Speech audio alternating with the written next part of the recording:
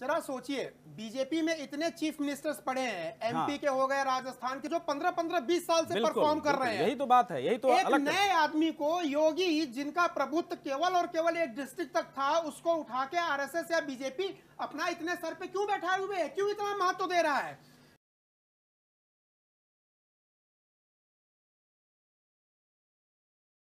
क्यों योगी जी ने दूसरे स्टैब्लिश जो नेता है मुख्यमंत्री है उनको पीछे छोड़ दिया और पूरी पार्टी में जो है वो एक चेहरा बन गए सबकी पहली पसंद बन गए। सबसे पहले एक एक के पास आते हैं।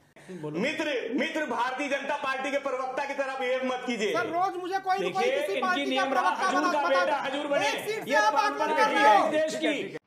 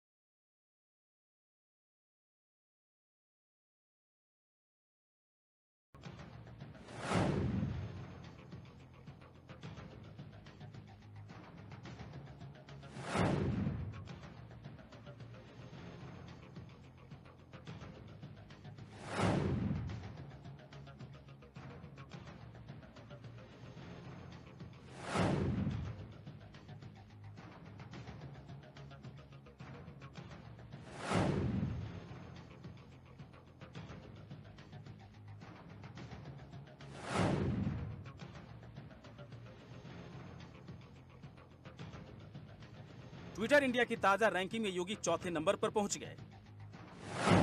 ट्विटर पर सीएम योगी के फॉलोअर्स की संख्या 2015 में जहाँ 2644 थी, वहीं अब यह आंकड़ा 31 लाख से ऊपर पहुँच चुका है। वहीं फेसबुक की बात करें तो 19 मार्च को शपथ लेने के दिन, जहाँ पंद्रह लोगों ने उनका पेज लाइक किया था, अब ये आंकड़ा छप्पन लाख को पार कर गया है।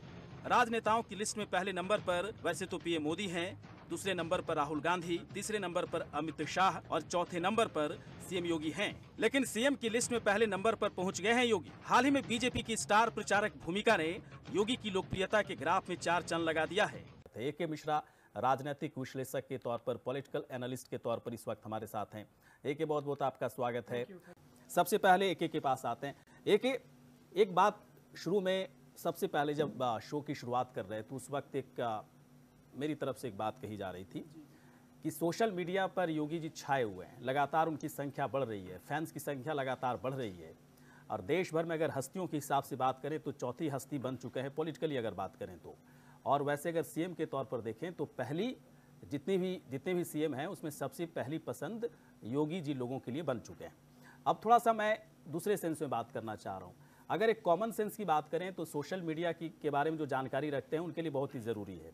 उनको अच्छा लगेगा इस बात को। चलिए ठीक है योगी जी के फैंस बढ़ रहे हैं मोदी जी के फैंस बढ़ रहे हैं राहुल जी के फैंस बढ़ रहे हैं अमित शाह के फैंस बढ़ रहे हैं। लेकिन लोकसभा का चुनाव होना है एक एक और उस लिहाज से मात्र दो साल के अंदर जहाँ पर हज़ार दो हज़ार चार हज़ार फैंस हुआ करते थे योगी जी के आज लाखों में पहुँच गए। है ना? ट्विटर पे तो छप्पन संतावन लाख तक पहुँच गए। थोड़ा सा इसका एक, एक एक्सपैंड करके इस नज़रिए को हम समझना चाह रहे हैं। आपका क्वेश्चन बड़ा साइंटिफिक है और पहले फ़ेज़ में जो मैं एनालिसिस करूँगा साइंटिफिक करूँगा न हाँ। कि नेताओं की तरह या पॉलिटिकल हाँ। कि कौन सक्सेस हुआ कौन चुनाव जीतेगा कौन हारेगा देखिए आप 20 साल पहले 25 साल पहले देखिए कौन कितना बड़ा फ़िल्म का हीरो है ये होता था कितनी टिकटें बिकी कितने बार कितने लोग देखने गए लेकिन आज जो भी सेलिब्रिटी है उनका एक पैरामीटर ये भी है देखने का कि फेसबुक पे ट्विटर पे उनके कितने फॉलोअर हैं साइंस के इस एज में सोशल मीडिया एक ऐसा पैरामीटर बन के उभरा है जिसने पॉपुलैरिटी को नापने के सारे मापदंड तौर तरीकों को पीछे छोड़ दिया बदल दिया है। इसको मानना पड़ेगा विपक्षी पार्टियाँ माने या ना माने आँख बंद कर ले बात दूसरी है। अब रही बात योगी की। देखिए emergence of a true leader या लीडरशिप स्टाइल ये चीज़ आपको योगी से मिलेगी। योगी को मैं कई मामलों में कर्म योगी भी मानता हूँ भले ही विकास कम हो या ज़्यादा हो।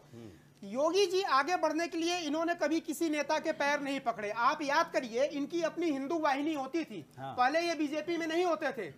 इन्होंने अपने आप से संघर्ष करके आगे बढ़े और यही रीजन था कि इनकी प्रतिभा और दबाव को देखते हुए लखनऊ में जब चुनाव हुए थे यूपी के तो मुख्यमंत्री की रेस में कई लोग थे लेकिन दबाव में आके पूरी बीजेपी आरएसएस को निर्णय लेना पड़ा कि योगी को जो है इग्नोर नहीं किया जा सकता है। उसके बाद आप और ये देखिए जब आदमी कर्मनिष्ठ होता है और हर पॉइंट ऑफ़ व्यू से वो देखता है तो उसकी ख्याति चारों तरफ़ फैलती है और सोशल मीडिया तो इसी को परिलक्षित कर रही है। मैं, मैं- मेरा पूछने का मतलब हुआ क्या इसे इस खबर को इस तरीके से देखा जाए कि कॉमन सेंस वाली खबर है? इस तरह की जानकारी हर लोगों को हो जाती है सोशल मीडिया पर हम आप सभी होते हैं। या पॉलिटिकल पॉलिटिकली इसे रिच खबर माना जाए क्योंकि लोकसभा का चुनाव है। या फिर एक एक चीज़ और समझ लें या फिर बीजेपी के लिए एक माइल स्टोन की तरह इस वक्त योगी उभरते हुए नज़र आ रहे हैं। इसको केवल रिच नहीं इसको बहुत स्ट्रेटेजिकली रिच जो है आप खबर मानिए। देखिए इस खबर से क्या होगा? एक तो पब्लिक में इन्फ्लुएंस बहुत तेज़ी से बढ़ेगा। लोग और मतलब बोलेंगे हाँ भाई योगी के अंदर दम है वो लीडर है। क्योंकि जिसके बारे में सौ लोग बोल रहे हैं तो हम आप भी उसके बारे में हमारा परसेप्शन बनेगा। दूसरा सबसे स्ट्रेटेजिक रिच इसलिए है कि जो विरोधी दल के जो नेता हैं जिनके पास चेहरा नहीं है कांग्रेस के पास मुख्यमंत्री का तो कोई चेहरा ही नहीं है यूपी में। समाजवादी पार्टी के पास जो है वो सुसुप्त अवस्था में बैठे हुए हैं। बसपा की बहन जी भी एक बहुत अच्छी नेत्री हैं लेकिन एकदम सोई हुई हैं। तो उनका मनोबल भी देखिए ये वॉर है पूरा का पूरा जो इलेक्शन होता है या पॉलिटिक्स तो उनके मनोबल को डाउन करने के लिए भी एक बहुत बड़ा हथियार है जो बीजेपी यूज़ कर रही है। तीसरा क्या है? मे भी पॉसिबल हो सकता है कि आरएसएस या बीजेपी कुछ ऐसा डिसाइड करे 2019 के इलेक्शन में या कालांतर में हाँ। कि भाई मोदी जी का अब विकल्प कौन है? तो यहाँ पे भी इस चीज़ को देखा जा रहा है ठीक है। योगी जी के अंदर कुछ ऐसी चीज़ें हैं कि विकल्प के रूप में तैयार किया जा रहा है। मैं मैं समझ गया। मैं देखिए विकल्प वाले सवाल को सुनना नहीं चाहते या सुन नहीं करके मैं आप कह रहा इग्नोर कर रहे हैं। सीएम नंबर वन योगी है तो यहाँ पर कोई दूसरा विकल्प की बात ही नहीं है। अरे सर पीएम के विकल्प तो की बात मतलब हो रही है सीएम की नहीं हो रही हैं। मोदी जी भी पहले सीएम नंबर वन एक मिनट एक मिश्रा पॉलिटिकल एनालिस्ट के तौर पर इस वक्त हमारे साथ है। जितेंद्र चौधरी जी कांग्रेस के नेता आ, फखरुल हसन जी इस वक्त हैं समाजवादी पार्टी के नेता कुमार अशोक पांडे जी। एक कॉमन सेंस ज़्यादा लगता है। देखिए बार बार मैं इसलिए कह रहा हूँ कि देखिए एक सोशल साइंटिफिक एक रिलेशन है इस चर्चा को इसीलिए किया जा रहा है। कॉमन सेंस ज़्यादा लगता पॉलिटिकल कम लगता लेकिन यही बात है ना कि अगर कोई कॉमन सेंस वाली खबरें अगर आम लोगों के अंदर ज़्यादा हो जाए मतलब हावी हो जाए, एक का मतलब बहुत अच्छे तरीके से अगर वो खबरें उसके अंदर, उसके जहन में बैठना शुरू हो जाए किसी नेता के लिए तो ऐसा क्या मानना ठीक रहेगा कि उस एक बड़ा मूवमेंट होने की तैयारी है, एक बड़े इमरजेंस की तैयारी है और शायद यही इमरजेंस योगी के फेवर में जाता हुआ दिख रहा है? सोशल मीडिया के ज़रिए क्या इस पैरामीटर पर बात करना सही लगता है कि? गौरी जी आपकी बात और आपने जो अभी एनालिसिस की वो एकदम सही है। देखिए जरा सोचिए बीजेपी में इतने चीफ मिनिस्टर्स पड़े हैं एमपी हाँ। के हो गए राजस्थान के जो 15 15 20 साल से परफॉर्म कर रहे हैं। यही तो बात है यही तो एक अलग नए आदमी को योगी जिनका प्रभुत्व केवल और केवल एक डिस्ट्रिक्ट तक था उसको उठा के आरएसएस या बीजेपी अपना इतने सर पे क्यों बैठाए हुए है? क्यों इतना महत्व दे रहा है? क्यों योगी जी ने दूसरे स्टैब्लिश जो नेता है मुख्यमंत्री है उनको पीछे छोड़ दिया और पूरी पार्टी में जो है वो एक चेहरा बन गए सबकी पहली पसंद बन गए। देखिए होता क्या है? इसमें पहला कंट्रीब्यूशन या जो मतलब मैं बधाई देना चाहूँगा श्रेय देना चाहूँगा वो योगी जी का अपना खुद का अपना इंडिविजुअल मैनेजमेंट है। उनके अंदर क्षमता थी प्रतिभा थी जब वो बीजेपी से नहीं जुड़े थे तब भी वो पॉपुलर थे। बहुत सारे नेता ऐसे हैं जो अपने विधानसभा क्षेत्र या शहर तक ही ज़िंदगी भर लिमिटेड रह जाते हैं लेकिन पूरे देश में वो पॉपुलर नहीं हो पाते हैं। योगी ने इन सारी चीज़ों को तोड़ दिया। तो पहला श्रेय खुद योगी जी को जाता है बीजेपी के जुड़ने से पहले। अब बीजेपी या आरएसएस क्यों कर रही है? देखिए कुछ पर्टिकुलर ट्रेट या कैरेक्टरिस्टिक होने चाहिए एक लीडरशिप स्टाइल के लिए। वही आदमी आगे बढ़ पाता है कोशिश सब करते हैं लेकिन पब्लिक सबको अपना नेता नहीं मानती है। बिल्कुल। उनका परसेप्शन अपने नेता की तरह वो नहीं बनाती है वो रिजेक्ट कर देती है। बहुत सारे ऐसे नेता हैं जो बोलते हैं हम बहुत अच्छे हैं लेकिन पब्लिक उनको एज ए लीडर उनको अपना मान ही नहीं रही है। योगी में ये सारी खूबियाँ हैं और बीजेपी और आरएसएस वालों ने इन खूबियों को देखा। और योगी को क्यों एडिशनल सपोर्ट कर रहे हैं मैं आपको बताऊँ। पहला रीजन एक तो योगी पहली बार मुख्यमंत्री बने हैं तो उनके ऊपर पीछे के कार्यकाल का कोई दाग धब्बा या फेल्योर नहीं है। बिल्कुल। यानी विपक्ष को कोई भी अंगुली या कीचड़ उठाने का मौका नहीं मिलेगा। हसन जी तो उठा रहे दूसरा, नहीं नहीं वो विपक्ष अपना काम करेगा लॉजिकल। अगर वो उठा रहे हैं तो वो निष्प्रभावी है। बीजेपी वाले इसका जवाब बहुत अच्छे तरीके से। दूसरा सबसे इंपॉर्टेंट जरा इंटरनल पॉलिटिक्स देखिए।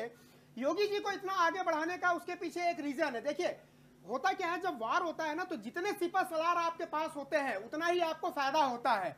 तो योगी भले ही 2019 में पीएम कैंडिडेट के लिए डिक्लेयर ना हो लेकिन टॉप इन्फ्लुएंसर पूरे एज ए टॉप इन्फ्लुएंसर पूरे इंडिया में यूज़ किए जाएँगे जिसकी शुरुआत हो गई है। कर्नाटका में ये गए एमपी में ये गए। विधानसभा विधानसभा तो- चुनाव हाँ, में तो जिस तरह से रैलियाँ मतदाताओं को अट्रैक्ट करने के दो तरीके होते हैं। एक तो जैसे टॉप लीडर है मोदी जी अपने आप में ब्रांड बने हुए हैं। अब इन्फ्लुएंसर कौन चाहिए? इन्फ्लुएंसर के रूप में योगी जी को पूरे इंडिया में घुमा रहे हैं। क्यों नहीं वसुंधरा राजे जी को घुमा रहे हैं चौहान जी को घुमा एमपी वगैरह के जो या आप देखिए रमन साहब को इन्होंने क्यों नहीं पूरे इंडिया में घुमाया? क्योंकि पीछे कुछ ना कुछ उनसे गलतियाँ हुई हैं। या पब्लिक परसेप्शुअल वैल्यू जो है उतना उनका नहीं है जितना योगी जी का है। बिल्कुल मैं देखिए एक इस इस बात को और बेहतर तरीके से समझने की कोशिश करूँगा।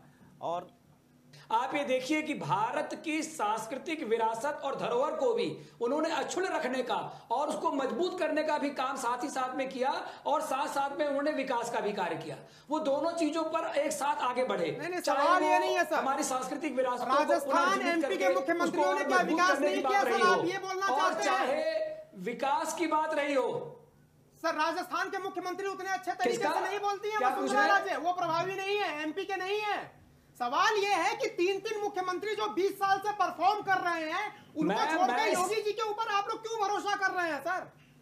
सवाल ये है योगी को क्यों प्रिफर कर रहे हैं?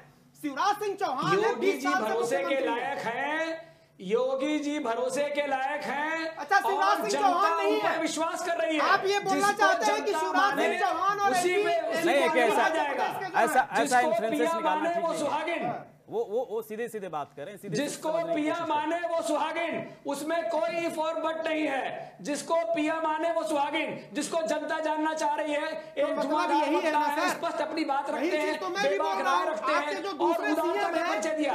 मैंने कहा कि सांस्कृतिक विरासत को शिवराज सिंह चौहान हो गए वसुंधरा राजे हो गई रमन सिंह हो गए जो 20 साल से लगातार प्रधानमंत्री नहीं, है कि ऐसा नहीं जनता जनता एक्सेप्ट कर रही है। मैं मैं सिर्फ़ सोशल मीडिया की बात कर सब अपनी अपनी जगह नेता है accept कर रही सब अपनी तो अपनी जगह की नेता है सबका अपना सम्मान है। और योगी जी का अपना योगी जी के अंदर जो आप नहीं कर इनका पा रहे। रूप का भी सम्मान है। कुमार साहब- से अलग करती है। कुमार साहब देखिए सवाल सवाल मेरा बड़ा सीधा रहता है जो योगी जी का आप उसे बड़ा घुमा योगी घुमा जी कर कुछ आंसर देने की कोशिश कर स्पष्टता रहे हैं। आप सीधे बोले ना हिंदुत्व कुमार साहब जो सीधे सीधे बोलने में क्या दिक्कत है? जो उनका सीधे बोलिए आप। सीधे बोलिए कि उसकी पूजा होती है। योगी जी के बात अंदर राजा अपने देश में पूजा जाता है ये पुरानी कहावत है। कि राजा अपने देश जाता है। और योगी और विद्वान हर जगह पूजे जाते हैं।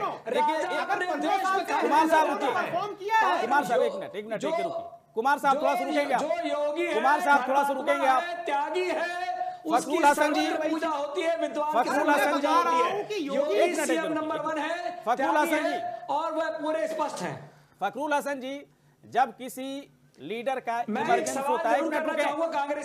कुमार साहब कुमार साहब पूछना चाहता हूँ जब अखिलेश यादव जब अखिलेश यादव सीएम बने थे तो उनका भी एक तरह से बड़ा इमरजेंस था। मैं उस वक्त उस चुनाव को बहुत अच्छे से कवर भी किया था जब अखिलेश यादव समाजवादी पार्टी से जब सीएम बने थे। मुलायम सिंह यादव का बड़ा सपोर्ट था। बाद में परिवारवाद के आरोप लगे। बाद में परिवार किस तरह से देखिए खंडित हो गया आप लोगों का। मैं थोड़ा सा समझना चाहता हूँ कि इमरजेंस अगर किसी लीडर का होता है तो उसको मेंटेन रखना सबसे सबसे बड़ी कवायद होती है हसन साहब। अगर पीएम मोदी गुजरात के सीएम थे, इसके बाद पीएम बने, उनका भी एक बड़ा इमरजेंस था। अचानक अवतरित हुए और तमाम तरह का जो उनका ट्रैक रिकॉर्ड था, बहुत ही बेहतरीन था, उसके बल पर देश की जनता ने उन्हें पीएम चुना। और उसी तरह का ट्रैक रिकॉर्ड योगी जी का है। उस तरह का ट्रैक रिकॉर्ड अखिलेश यादव का नहीं रहा, लेकिन फिर भी उनका इमरजेंस हुआ। और यही वजह था कि समाजवादी पार्टी ने इसको मेंटेन नहीं रख पाया। इस प्रदेश में जहाँ पाँच पाँच मुख्यमंत्री हो वहाँ पे आप किसी एक मुख्यमंत्री का आकलन क्यों कर रहे हैं? भारतीय हाँ, जनता तो पार्टी के उत्तर प्रदेश में सर, 250 पाँच मुख्यमंत्री आप लोग 45 आप सीट पाँचों पे का आकलन कीजिए। और मैं कहना चाहता हूँ मैं कहना साइंटिफिक आकलन करिए आपकी पार्टी यूपी इलेक्शन तो में ढाई सौ से पैंतालीस फूलपुर फूलपुर फूलपुर तो आकलन को आप फूलपुर सर, एक सीट पे अगर आप कैराना कर रहे हैं तो 200 सीटों के लॉस से आप क्या आकलन करेंगे सर? सर, आपने IMD का आकलन करिए ना, एप्पल टू एप्पल पैरामीटर आप भारतीय जनता पार्टी के प्रवक्ता के जरा क्यों बिहेव कर रहे हैं? मित्र मित्र भारतीय जनता पार्टी के प्रवक्ता की तरह बिहेव मत कीजिए। सर रोज मुझे कोई न कोई किसी पार्टी नियम रहा हजूर का बेटा हजूर बने। एक ये परंपरा रही है। इस देश की कि हजूर का बेटा हजूर बने। वो दिक्कत है, राजनीतिक विश्लेषक जो होते हैं, का साथ ही। एक है हर समाजवादी पार्टी के प्रवक्ता है, है, बीजेपी तो के प्रवक्ता है, साहब। हैं, हूँ। चौधरी साहब। ये बात सही नहीं है। चलिए ठीक है ठीक है हसन साहब मैं समझ हजूर का बेटा हजूर बने। परिवारवादी पार्टी ने हजूर का बेटा हजूर बना है। लेकिन मजदूर का बेटा हजूर बने ऐसी भारतीय जनता पार्टी में मजदूर का बेटा भी परिवारवाद की हजूर बना बहुत लंबी लिस्ट है। इसलिए परिवारवाद की बात करना भारतीय जनता पार्टी के मुँह से शोभा नहीं देता है। एक बड़ी लंबी लिस्ट है पूरे देश में परिवारवाद की भारतीय जनता पार्टी की। सारी पार्टियों में पूरा देश जान रहा है परिवारवाद भारतीय जनता पार्टी विधायक का बेटा ही। में विधायक बनेगा। डेवलप किया आपने? एक छोटे से घटक और तीन जनपदों तक सीमित अरे कर तो दिया आप पूरी पार्टी को। भारतीय जनता पार्टी को वाकओवर क्यों देते हजूर हैं? उनका आप मैं यहाँ सबके सबके लिए लिए बोल रहा हूँ। परिवारवाद योगी योगी ने संघर्ष से हासिल किया है। योगी के संघर्ष ने उनको सफलता दिलाई है। ठीक है ये सवाल नहीं है। ये सवाल नहीं है। योगी के संघर्ष से ये सफलता सवाल था दिलाई है उनको। वो मजदूर के बेटे थे हजूर बने हैं। मजदूर का बेटा हजूर बने इन मुहावरों से काम नहीं चलेगा। इन मुहावरों से काम नहीं चलेगा। कुमार जितेंद्र चौधरी जी। एक बात जो परिवारवाद को लेकर के उठी ठीक है समाजवादी पार्टी क्यों कहेगी कि मेरे आ, मेरी पार्टी में परिवारवाद को तवज्जो दी जाती? कांग्रेस वाले भी क्यों कहेंगे? लेकिन देखिए दिखता तो है अगर आप हमें झूठा भी कह देंगे झूठा भी साबित कर देंगे तब भी आम जनता को तो पता चलेगा कि परिवारवाद किस तरह से समाजवादी पार्टी और कांग्रेस पार्टी के ऊपर हावी है। थोड़ा समय देखिए मैं मैं मेरा सवाल पूरा होने दीजिए। बीजेपी के अंदर क्यों भारतीय जनता पार्टी में नहीं है तीन क्या? कांग्रेस से है ना एक संत एक एक संत की तरह एक कह सकते हैं कि सन्यासी की तरह जिनका पूरी तरह से बिहेवियर है उनका जीवन है वो उत्तर प्रदेश के सीएम बन गए। एक लोकतंत्र तो दिखता है ना बीजेपी के अंदर। क्या इस तरह के पैटर्न को लागू करने के लिए कांग्रेस को नहीं करना चाहिए? कांग्रेस को नहीं लगता है कि हाँ ये तो बहुत अच्छा है। अगर कोई अगर कर्मठ है कोई अगर अच्छा काम कर रहा है मेहनती है बड़ा विजन है तो पीएम बन सकता है। इसमें क्या दिक्कत है? लेकिन आपके यहाँ तो इस तरह की चीज़ें है ही नहीं। नहीं नहीं ये आरोप पहले से भी लग, लगते आ रहे हैं विपक्ष लगाता रहता है हमारे पास। मैं बता दूँ हिंदुस्तान में तो हर घर में परिवारवाद है। मुझे कोई घर ऐसा बता दीजिए जिसमें परिवारवाद ना हो। मतलब मेरे मेरे बच्चे की प्रॉपर्टी मेरे बच्चे को न जाए पड़ोसी को चली जाए। कांग्रेस ऐसा ही पार्टी देखो सुनो राजस्थान वसुंधरा राजे कल बच्चे राजनीति में है। और आपका उनके रमन सिंह का बच्चा राजनीति में है और आपके उत्तराखंड में ठाकुर साहब हैं, उनके बच्चे राजनीति में, परिवारवाद कहाँ नहीं है, बीजेपी में नहीं है क्या? देखो, ये सब चीज़ें जो है हर हर जगह चलती है और परिवारवाद तो पूरे देश में है। पार्टियों में पूरे देश में ही है। देखिए मान लिया ना अभी इन्होंने कि नेता लोग क्या कर रहे हैं पार्टियाँ क्या कर रही हैं? ये विधायक का बेटा ही विधायक बनेगा नया किसी आदमी को टिकट नहीं मिलेगा। नहीं इसे लोग बीजेपी वाले बधाई रहे ना हमारे यहाँ लोकतंत्र है। नहीं बनता है। ऐसा कहीं नहीं है। परिवार तंत्र है, जो भी ये जो जो भी भी माने, माने परिवार जो भी- तंत्र है। जो भी माने तो सब जगह चलता है। परिवार तंत्र इसके लिए मैं आपको और मैं आपको बता दूँ, सर, है, परिवार चल रहा है। और, बता दूँ नहीं नहीं। इक्यानवे के बाद गांधी परिवार से इक्यानवे बानवे के बाद कोई प्रधानमंत्री देश का बना नहीं। पीछे सोनिया गांधी जब जाती बन जाती उन्होंने प्रधानमंत्री का पद ठुकरा कर और मनमोहन सिंह पुराना- दूसरा प्रधानमंत्री बनाया पुराना ट्रैक- परिवारवाद होता तो पुरा, स्वयं पुराने प्रधानमंत्री ट्रैक बन पर हम पुराने ट्रैक पर आ गए कुमार साहब कुमार साहब ने कुमार साहब एक अहम सवाल कुमार साहब एक अहम सवाल आपसे पूछना ज़रूरी था। आज भी रहा इस देश में। कुमार साहब सुने थोड़ा सा। मनोहर जोशी चौधरी जी रुक जाए चौधरी जी नेतृत्व थोड़ा स्वीकार सा। नहीं किया। कुमार साहब। कुमार साहब- इटली का नेतृत्व स्वीकार नहीं किया। एक मिनट रुकिए ये चौधरी देश की साहब उदारता चौधरी साहब रुके थोड़ा सा। एक मिनट चौधरी साहब रुके आप थोड़ा सा और चौधरी साहब कुमार साहब कुमार साहब बात से मैं एक बात कुमार साहब। सुने कि नीचता के लिए पात्रता की आवश्यकता नहीं होती है। नीचता के लिए पात्रता की आवश्यकता नहीं होती है। जिन शब्दों का प्रयोग आप कर रहे हैं ऐसे शब्दों से बचना चाहिए आपको। शब्द बोल सकता हूँ आपके बारे में कठोर। अरे पांडे सर आप ऐसे शब्दों का बोल रहे हैं ये पात्रता है। गलत शब्दों का इस्तेमाल मत करिए पात्रता की बात करिए। मैंने आपके लिए गलत नहीं बोला ना आपकी पार्टी के लिए मैंने गलत बोला है। आप शब्दों का बौखलाए हुए हैं। इसीलिए मैं कह रहा हूँ कि नीचता के लिए पात्रता की ज़रूरत नहीं है। आपको हार दिख रही है। कांग्रेस इमरजेंसी होना चाहिए। आपका जाने का समय आ रहा है। बहराइच में आपका कोई भी बोल सकता है कांग्रेसी होना चाहिए। एक चीज़ ये बताइए। एक चीज़ ये बताइए छोड़िए मुद्दे पे आइए। एक चीज़ ये बताइए योगी जी के अंदर ऐसा क्या खास चीज़ें हैं जो कि आपने अपने तीन जो पंद्रह साल से सीएम है उनको पीछे छोड़ के बीजेपी ने योगी जी को आगे कर दिया। ये तो बड़ा अन्याय हुआ सर शिवराज सिंह चौहान वसुंधरा राजे और रमन सिंह के जो बीस साल से पार्टी की सेवा कर रहे हैं कैसे कांग्रेस और समाजवादी पार्टी सर आप अपनी पार्टी का उत्तर दीजिए ना। हम कांग्रेस और समाजवादी पार्टी की बात कर रहे हैं। ये नफरत आपको नहीं लगता कि वसुंधरा राजे की कर रहे हैं। एक एक रुकेंगे जितेंद्र चौधरी थोड़ा सा रुकिए क्या ऐसा हुआ कुमार साहब आप मुझे ये बताइए कुमार अशोक पांडे जी कि सारी राजनीतिक पार्टियाँ मंदिर थोड़ा पांडे जी पांडे जी थोड़ा सा सुन तो लीजिए सवाल तो सुनिए पांडे जी सवाल तो सुनिए काटने लगा कोई अपना गोत्र बताने लगा पांडे जी सवाल तो सुनिए रहने दीजिए ऐसा क्या हुआ पांडे जी करने के लिए चौधरी साहब भगवान चौधरी ज़रूरत होती है। पांडे साहब जी ने किया? पांडे जी थोड़ा सवाल सुन लें। सवाल देखिए ठीक है। ठीक है बहुत देर से हम लोग किस बात के लिए? मोदी कर रहे हैं किस बात के लिए भैया? सवाल तो बता तो दीजिए। पांडे जी सवाल तो सुनिए। सवाल यह है कि ठीक है सोशल मीडिया पर योगी जी छाए हुए हैं। जमीनी लेवल पर एक्शन मोड में योगी जी दिख रहे हैं। लेकिन तमाम तरह की घटनाएँ नहीं रुक रही है अशोक पांडे जी। इसका भी तो जवाब दीजिए थोड़ा सा। लॉ एंड ऑर्डर पर देखिए सवाल उठ रहे हैं। अलग अलग जगहों से जिस तरह की खबरें आती हैं है ना? अब बुलंदशहर उससे पहले तमाम जगहों की जो खबरें जिस देखिए बहुत ईमानदारी के साथ जवाब दीजिए। इस पर जवाब जब तक सही सही नहीं आएगा तब तक तब तक कुछ भी कर लीजिए। सोशल मीडिया पर चाहे 25 और 50 लाख एक करोड़ आपके फॉलोअर्स हो जाएँगे उससे क्या भारतीय जनता पार्टी के राज्य में एक भारतीय जनता पार्टी के साढ़े चार साल के शासन में आतंकवाद नहीं हुआ। एक भी आतंकी घटना नहीं है।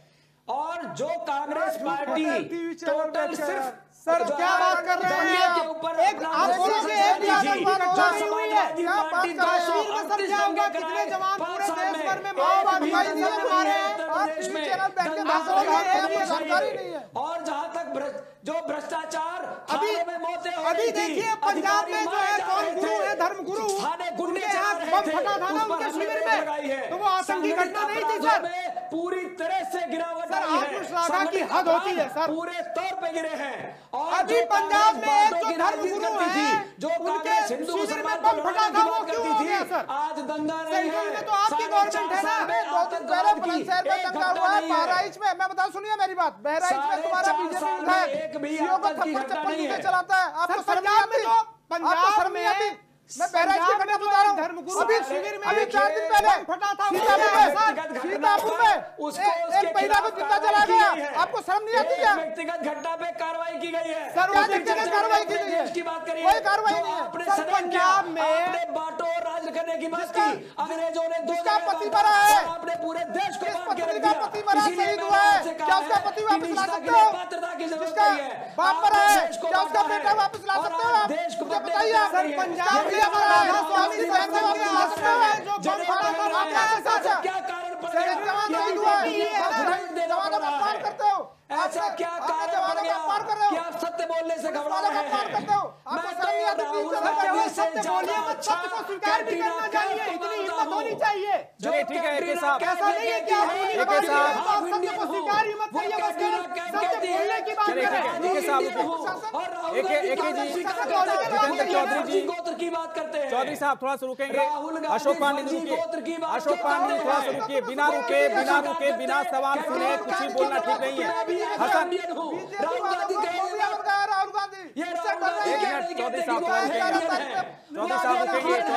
चौधरी अशोक पांडे जी थोड़ा सा रुकेंगे। फखरुल फखरूल हसन मंदिर जाना पड़ रहा है। फखरूल हसन जी के पास चलते हैं समाजवादी पार्टी के नेता।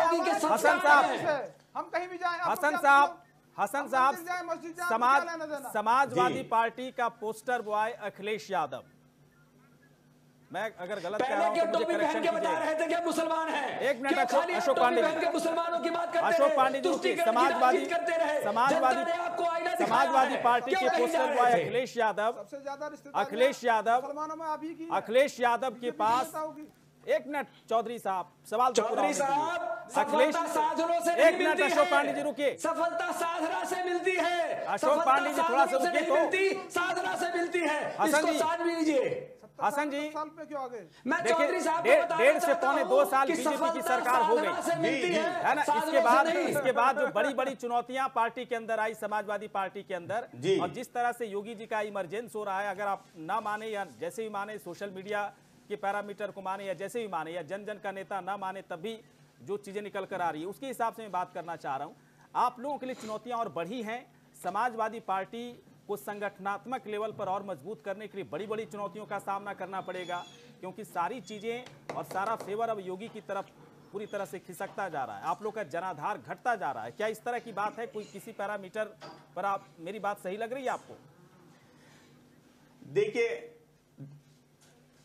देखिए देखिए मैं बताऊँ कि संगठन के जहाँ तक बात है समाजवादी पार्टी अपना संगठन को बहुत अच्छी तरीके से नीचे से हमने जो काम किया है डेढ़ साल से हम संगठन पे ही काम कर रहे थे। हम लोकसभा चुनाव के लिए तैयार हैं। जहाँ तक बात आप पोस्टर बॉय माननीय अखिलेश यादव जी की कर रहे हैं मैं कहना चाहूँगा कि जो चुनाव हुए हैं उत्तर प्रदेश में उन चुनाव में भारतीय जनता पार्टी को हार का हार का सामना करना पड़ा है और आसपास हार नहीं हुई है। तो ये ये जो बौखलाहट है ये जो चीज़ें नज़र भारतीय जनता पार्टी के संगठन में नज़र आ रही है। आप हमसे कहते हैं कि हम लोग की गिरावट आ रही है। मैं कह, मैं पूछना चाहता हूँ भारतीय जनता पार्टी के सहयोगी क्यों उन्हें छोड़ के भाग रहे हैं? भारतीय जनता पार्टी की पे क्यों ध्यान नहीं दिया? भारतीय जनता पार्टी की सांसद का एक encephalitis इस्तीफा दे जैसे देती 40 साल इनके सहयोगी इनकी पार्टी के नेता ये सभा ये से पूछना भारतीय जनता पार्टी वो डूबता हुआ जहाज़ है जिसमें से 40 निकल निकल के भाग रहे हैं हूँ कि भारतीय जनता पार्टी के नेता क्यों कहते थे कि बच्चों से गलती हो जाती है? जितने भी बलात्कारी बच्चों के लिए आपकी साथ दौरान विधायक बलात्कारी है। पांडे जी आपके विधायक बलात्कारी है ही आपने कहा कि शाम की दवाई से ठीक तो चाहिए। देखिए, बहुत ही कम शब्दों में- हो बहुत ही। कम शब्दों में देखिए, 40 साल विधायक के इन लोगों से encephalitis कुछ पर पूछो, दिया। और और ये ये सवाल जेल पूछने काट का रहा है। जवाब थोड़ा अलग तरीके से है ना? दिया जाता है, लेकिन थोड़ा सा बेटी बताइए। बचाओ बेटी पढ़ाओ इस तरीके से आप आप नारा दो आप खुद सामने हसन बलात्कारों साहब में हसन साहब कह रहे थे कि डेढ़ साल है में ज़्यादा समाजवादी पार्टी के अंदर हुआ और जिस नेता के हाथ में संगठन को मज़बूत करने की पूरी ज़िम्मेदारी थी वही नेता समाजवादी पार्टी से अलग हो गए एक तो फिर किस किस पैरामीटर पर बात कर रहे हैं हसन साहब मैं आपको बताऊँ बहुत कम शब्दों में, चूँकि समय खत्म हो। देखिए क्या है इंडिविजुअली देखा जाए तो उभरते हुए नेताओं में यूपी में देखा जाए तो अखिलेश यादव को मैं बहुत अच्छा मानता हूँ। इन्होंने अतीक अहमद को स्टेज से हटा दिया था कि हम ऐसे लोगों को नहीं रखेंगे। अपने आप में ये एक बहुत ही मज़बूत इरादे वाली बात होती है। हुआ क्या अखिलेश यादव जी लाचार कहाँ हो गए? उतना उनको अनुभव नहीं था और जब घर वाले ही टूटना शुरू हो गए तो वो कमज़ोर हो गए। अगर ये घर वालों ने इनको साथ दिया होता मे भी पॉसिबल कि बाहर की पार्टियों ने भी ये साजिश रची हो, कुछ भी होता है। ये होता है पॉलिटिक्स में। लेकिन अगर ये पूरी समाजवादी एक साथ रही होती और अखिलेश यादव को ट्रू वे में लीडर मान के आगे बनी होती ना तो Akhilesh Yadav as a leader की तरफ़ बहुत ही ज़्यादा अपीलिंग उनका है। लेकिन अब ठीक है, हार जीत होनी है। लोग षड्यंत्र करते हैं, बाहर के लोग, अंदर के लोग भी करते हैं। तो दो तीन फांक में जो बटना, मुलायम सिंह यादव कुछ और बोल रहे हैं। ये दो तीन लोगों ने जो अखिलेश यादव को छोड़ दिया ना अदरवाइज़ उनके अंदर भी मुझे गजब की प्रतिभा दिखती है। नए उभरते हुए अगर नेताओं में देखा जाए तो। तो मैं ये बोलूँगा कि अखिलेश यादव भी कम से कम इस परेशानी या इस दिक्कत से उभरेंगे और डेफिनेटली उनका भी कैरियर मुझे काफ़ी अच्छा लगता है। अगर नए उभरते हुए नेताओं चलिए ठीक है न्यू जनरेशन लीडरशिप देखा जाए तो। शुक्रिया आपका है कि आप यहाँ पर आए वक्त आपने निकाला जितेंद्र चौधरी जी।